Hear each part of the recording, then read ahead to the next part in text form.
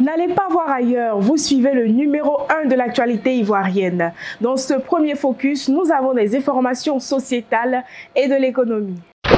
Le jeudi 4 juillet 2019, Pépé Soupe est allé à la rencontre des visages invisibles qu'on croise au coin de la rue. Pépé Soupe a échangé avec des sans domicile fixe de Cocody, ces anonymes dont personne ne se soucie du quotidien. Eux, ce sont mademoiselle Kone Naminata, Monsieur Bado Raphaël, Bayala Pacom et Gadou Philippe, président des SDF que vous pouvez voir sur cette photo, et tous les autres que nous ne pouvons pas citer ici. Tous sont sans domicile fixe et au gré des intempéries trouvent un endroit où crècher dans le cocodie des grandes villas et des immeubles de haut standing. Certains ont perdu leur emploi et d'autres sont des victimes des précédents déguerpissements. En cette saison des pluies, Dieu seul sait par quels moyens ils arrivent à s'en sortir.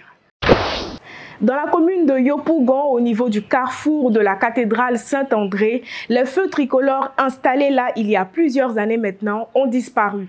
Leur absence à cet endroit pour réguler la circulation, en plus de créer des désagréments aux automobilistes, mettent la vie des piétons en danger. Ces derniers sont amenés à traverser dangereusement la chaussée, pouvant entraîner des accidents. En attendant qu'une solution définitive soit trouvée à cette situation, piétons et automobilistes tentent d'éviter le pire.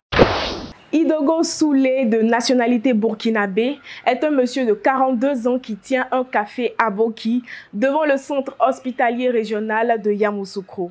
Deux tables dressées, des bancs, un parasol, un fourneau à charbon, une bouteille de gaz et des ustensiles. Voici un peu l'arsenal qui permet à Soulé de contenter sa clientèle tous les matins et tous les soirs. Ainsi, de 5h à 11h30 minutes, il gère son café à Boki et rentre se reposer pour ensuite se rendre à son poste de 15h à 18h. Voilà, c'est la fin de ce premier focus de la journée. Merci de votre attention. On se retrouve dans quelques instants pour de nouvelles actualités. Mais d'ici là, je vous invite à nous suivre sur ppsoup.com.